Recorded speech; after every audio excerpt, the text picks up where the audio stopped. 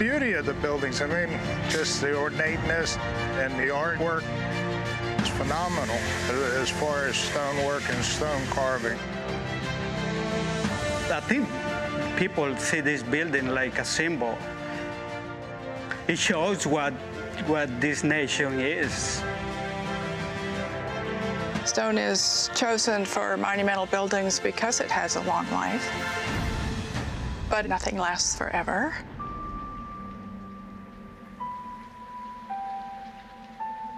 It's just time and nature. The strongest element on earth is water. I mean, you throw a rock in the river and eventually it wears away. You can see what happens. It's quite soft. It's crumbling. You know, your stone is porous, but will suck in water. The constant freezing and thawing process is quite detrimental. They start to pinch, and the pressure's so great that it actually just pushes, breaks the stone apart. To see that we're losing the detail, you really have to look closely. You have to look up at the cornices. You have to look at carved pieces. This is from the uh, cornice of the Capitol, way at the top. Fortunately, no one's been hurt. All of our buildings need work. We have stone that is so badly eroded that it simply needs to be replaced.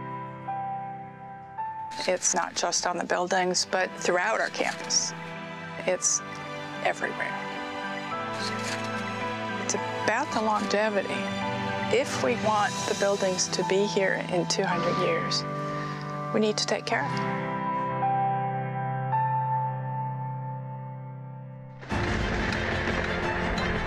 We have received funding for several projects. There will be scaffolding on a lot of buildings. We're using laser cleaning. We use very mild detergents, water misting.